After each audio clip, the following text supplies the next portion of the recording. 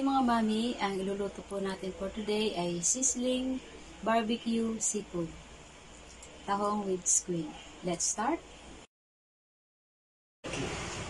Onion, siling haba, red pepper, siling labuyo, barbecue sauce, oyster sauce, ketchup, and the main is puset and tahong.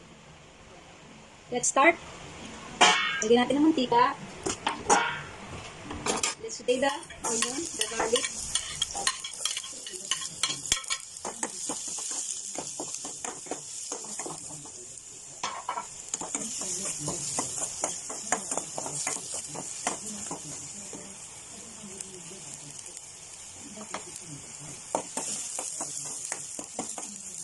We put the squid.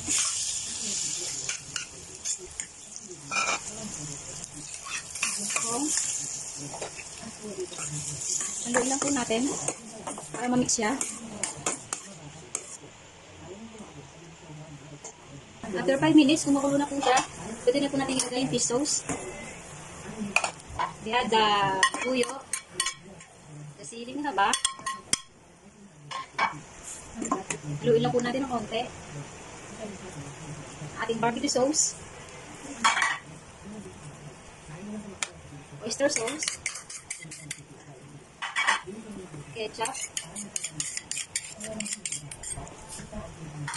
Hindi na po natin siya kailangan lagyan pang tubig. Kasi kusa na po siya. Kakaroon na sabaw. We can add a little bit of sugar. Uh, salt to taste.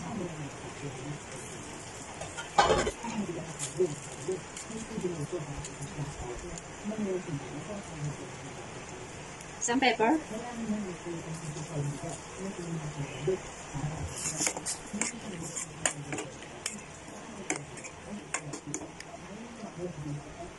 Takpan po ulit natin to for another 2 minutes. After 2 minutes, eto na po siya.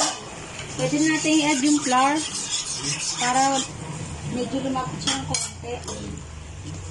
Mix lang po natin siya. Hanggang sa, hanggang sa lumapot.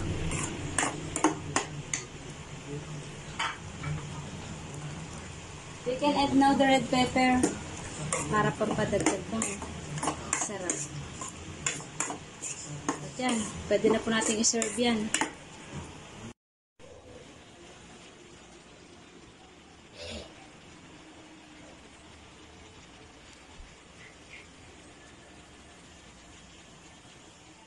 Oh, trigger. Tigman na po natin ang ating niluto. Sarap siya sa ulam. Pwede na pong pampulutan. Thank you for watching. Please don't forget to subscribe, like, and share.